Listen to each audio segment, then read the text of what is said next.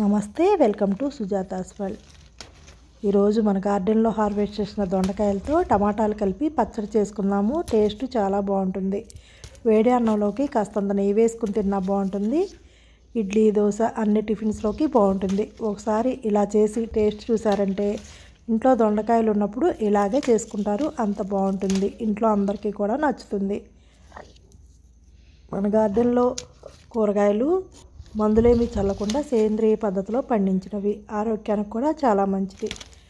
ముందుగా ఇలా హార్వెస్ట్ చేసిన దొండకాయల్ని శుభ్రంగా కడిగి ముక్కలుగా కట్ చేసుకుందాము. పావు కేజీ అంత దొండకాయలకి రెండు టమాటాలంతా వేసుకుందాము. వీటికి సరిపడినంత పచ్చిమిర్చీలు కూడా తీసుకుందాము. నా దగ్గర ఉన్న పచ్చిమిర్చిలు చాలా ఘాటుగా ఉన్నాయి. అందువల్ల నేను నాలుగే తీసుకున్నాను కడిగి ఇలా కట్ చేసి పెట్టుకున్నవి స్టవ్ వెలిగించి ప్యాన్ పెట్టి ఒక రెండు స్పూన్లంతా ఆయిల్ వేసుకుందాము.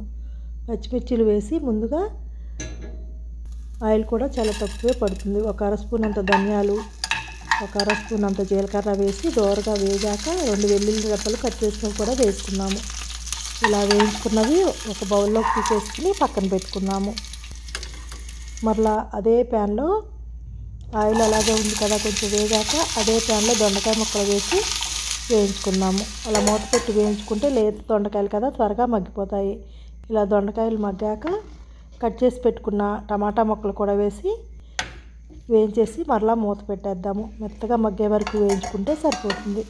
అలా వేగాక ఒక రెండు నమ్మలంత చింతపండు కడిగి చింతపండు ఒక పావు స్పూన్ అంత పసుపు కూడా వేసి వేయించి పెట్టుకున్న ముక్కలు పూర్తిగా ఆరాక మిక్సీ పట్టుకున్నాము